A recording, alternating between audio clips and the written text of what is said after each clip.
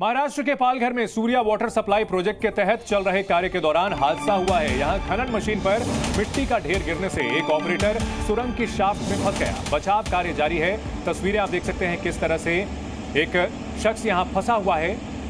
Surya water supply project के तहत काम चल रहा था और इसी दौरान खनन मशीन जो होती है, उसके ऊपर गिट्टी का ढेर गिर गया। माफ़ कीजिएगा, मिट्टी का ढेर गिरा और इस वजह से एक ऑपरेटर सुरंग की शाफ्ट में फंस गया है, जिसे बाहर निकालने की कवायद की जा रही है। Z News.